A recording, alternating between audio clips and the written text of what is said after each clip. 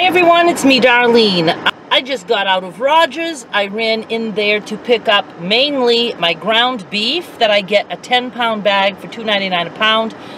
I have only one packet home left. I separate it and freeze it, so time to come and get some more.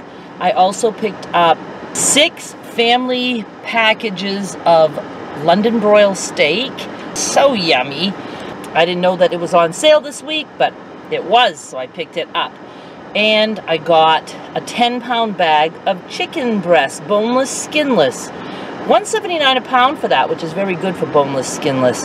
My mother loves that, and I like it too. I'll slice it up and sometimes just cook it with my steak as a side dish. I haven't been into anything but beef lately, but the chicken, especially if it's cooked with the beef, I like it. I mean, I love everything. It's just that it's not what I seem to go for. Pork is still very hard for me lately. It's like, it just weird. I didn't even buy bacon ends. I have none, and I just, I'm just not into it. And then I also picked up some ice cream from my mother we had someone, Skylar was here, so I've been waiting for her to eat the rest of that so I could make room for another container. And now we have room, I hope, after all this meat that I bought. So I won't be able to stay here long because it's pretty hot. 86, feels hotter. I'm in the parking lot next to the church. I pulled away from Rogers. I wanted to find a shady spot. I also got some milk. What else did I pick up? Seems like the, oh, two packages of haddock for my mother. That comes in on Thursdays, so it's always nice and fresh. Some imitation crab meat. I wish they would just call it fish, because that's what it is. It's just fish made to look like crab meat. And I got her a loaf of bread. Oh, and two big bottles of plain sparkling water for me. Ran out a couple days ago, and I realized that I didn't have any, so I picked some of that up. Came up to over a hundred bucks, but it'll last me a while. I don't have very much to talk about. I do want to mention that Fabric Friday is tomorrow. I will have some fabric, but I think I'm going to be trying one listing on my blog. I used to have a store on my blog where I sold my Designs by Darlene plus size tunics. That was a long time ago. I don't have anybody to help me or to teach me how to do behind the scenes blog stuff, but I'm always determined and willing to learn. So now the PayPal buttons and all that, it's all so new. It was like ancient when I did it. But I'm trying to set that up again. Just one simple listing to try it out. I think I'll be ready to go for tomorrow with that. If I can have it hosted on my blog, then I can at least eliminate the 10% final listing fee from eBay, which means I can bring you guys a little bit of a lower price, which is what I want to do. Tomorrow's listing is going to be, I might have two, I'm not sure yet. It all depends on how much I get done. But I bought a bunch of fabric at Marden's on sale and they didn't have it listed as irregular, but I noticed there are little flaws here and there I don't know if there's maybe one tiny flaw maybe per yard or every other yard, but it might be where like a thread lifted up so the print isn't there. Or the other thing that I noticed was like one piece had a tiny pin-sized spot of like another color dye. It's very good fabric and I still bought a ton of it because it's very small prints that could almost read as solids. And I offer you guys like a lot of funky fabrics, so I thought maybe you would like that as sashing or borders or just to put in your blocks. So even though it's very minutely flawed, I'm going with it, but I'm going to try to give you the lowest price that I possibly can just to move it. And I might offer you full yard, half yard, quarter yard. I'm just going to try that. So those of you who would like all 24 colors, but you don't want a lot of it, you could just go with a quarter of a yard. And those of you who want more can go with a half yard. And if you want a bunch of it, you can go with a full yard. Full yard, though, that's 24 yards of fabric. I don't even know how much that would cost to ship.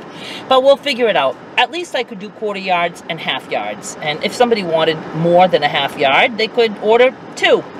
So I hope I can get this all set up for you guys for tomorrow. And then I'll probably do another one on eBay also. Or I might wait. I don't know. I still have the greens that are up there. I think I still have 10 more lots of those. So I might just let those go first and not really make it be like a super busy weekend. What else? What else? What else? Um... You guys are loving the dating message series, and I'm telling you, when I'm there, I'm having so much fun with it. But then I'm always like, oh, it's not going to be funny next time. But you know what? I think those guys are going to provide us with a lot of laughs. I do want to make it very clear out there that my intention is not to meet a guy. I get so many people, not only in the comments, but private messaging me, giving me tips, telling me where else to look. And it's like, oh my God, I'm doing this just for fun, for the sake of my channel, and I don't expect to ever go on a date because I don't think any guy would ever agree to that. They'd be nuts if they did because I wouldn't agree to that. If a guy contacted me and said, well, I would because I'm a YouTuber, but in general, if a guy would contact a woman and say, you know, I really don't want any kind of a relationship, but I want to take you out and exploit you. for my channel you know, and have a date. There might be somebody out there who would do that. Like, I would love to do a collab with another male YouTuber here, local to me, somewhere local, within two hours of a drive. That would be really fun. He could edit and upload on his channel. I could edit and upload on mine. I just think that would be a win-win for both of us. It didn't matter if we liked each other or not. So I will, you know, just keep having fun with it for as long as we can. But please, please, please stop thinking that I'm doing this to meet the man of my dreams. There is no man of my dreams. It doesn't exist. Because I'm so completely wanting to be alone. I, I don't want to have the, the, um, added task of needing to be available to do stuff. You know what I mean? I just don't. Like I said, a couch potato who likes some reality. I don't care if they watch all the sports in the world. A couch potato would be all right. Somebody who has his own money, who doesn't need me for anything, and who won't mind cooking him for himself unless he wants to eat just meat.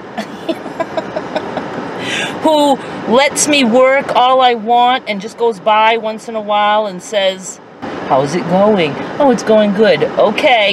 You know, I'm actually, I'm basically describing my dead husband. that's, that's the way it was with us. It was like having a roommate who would take me for rides if I wanted and, you know, just stuff like that. It was company. It was somebody else in the house besides my mother that I could talk to if I felt like it. But I just, I just can't even imagine starting up with somebody, especially sober. The last time I ever dated somebody, I was a drunk.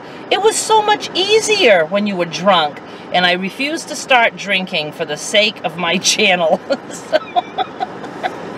but we'll just see how it goes. And some people, you know, when I put it on my Facebook page, some people just look at the image and read the title and they don't watch the video. So those people think that I'm seriously trying to date, which is like so incredibly embarrassing to me. I don't know. Uh, and they leave messages. I have one that I'm pretty sure will make it into the comments, YouTube comments or Facebook comments that I read because she just, you know, gave advice that I didn't ask for.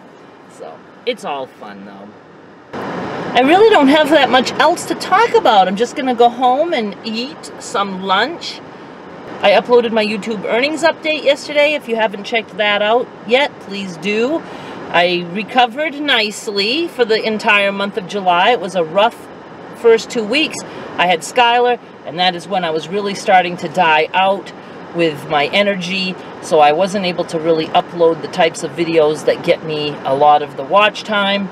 But um, I bounced back nicely, and I think August will be okay.